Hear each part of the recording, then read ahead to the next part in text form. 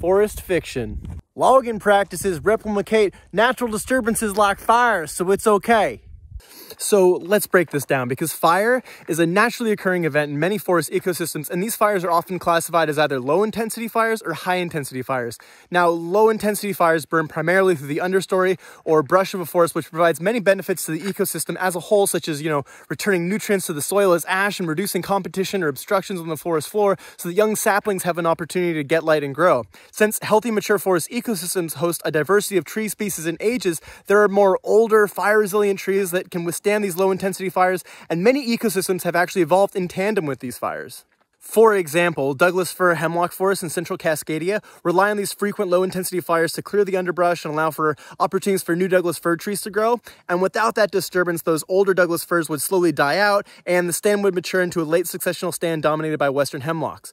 Fire has also been used by indigenous people since time immemorial here in Cascadia in environments such as Garry Oak woodlands, which surround the Salish Sea, where frequent human-created low-intensity fires helped um, clear the grasses and underbrush that allow Garry Oak trees to thrive without being overtaken by all the surrounding conifers. So these low-intensity fires are estimated to happen naturally throughout forest ecosystems in the West every 50 to 100, sometimes 250 or 500 years, depending on the specific ecosystem and its climate, which can all vary greatly. Then, on the other hand, you have high intensity fires, which occur naturally as a result of compounding factors which makes forests extremely vulnerable, such as long-term drought or disease affecting a forest. And these fires look much different from low intensity fires.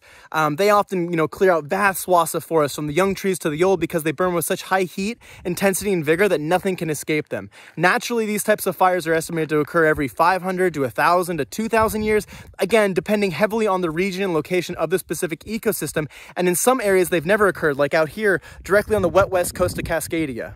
So in forestry, a common theme here is that the practices we're currently using of clearing and replanting trees replicates natural disturbances such as landslides and fires which for the most part is totally correct. You know, often when these forests are cleared, at least here in Cascadia, they're replanted with successional species like Douglas fir or cedars out here on the coast, um, spruces or pines more interior, that all do well in open sunlit environments and are usually the first to occupy areas of disturbance that occur naturally.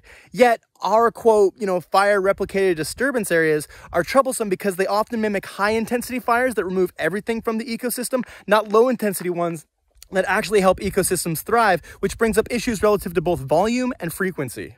All right, now there's some discrepancy in reporting here, mostly around the term old growth and how it's defined, but varying sources suggest that at this point, between 90 to 96% of the original virgin forests across the United States have been logged or modified, and between about 75 to 90% of Canada's virgin forests, with much of what remains being in the northern boreal forest. So, for the sake of this discussion, we'll average that down to say 80 5% of the northern forests across the whole of North America have been cut down in a manner that replicates high intensity fires. Speaking to volume, that is an absolutely ridiculously huge percentage of the forest lands across the continent that have all been lost, and the forests we've replaced them with are often monocultures of trees at similar ages and species. This means that they're more at risk for natural disturbances, and when combined with climate change factors such as drought and disease spread, that means that those rare high intensity fires are happening much more frequently and on massive scales, which is a big factor in the increasingly dangerous fire season we're seeing every summer. Okay, now the second big problem with this is frequency. See, these virgin forests can be thousands of years old, maturing in hundreds, if not thousands of years, yet we replace them with trees that we cut down on 70 year rotations, and many forests on the East Coast are now third or fourth generation crop forests. So through our actions, we've created a situation where within the last 400 years, and especially the last 100, over 85% of the continent's forest ecosystems have been destroyed to the equivalent of being burnt to the ground in high intensity fires. In some places, four times over, which statistically only ever happens every one to 2,000 years, if at all, yet we're calling all of this totally natural.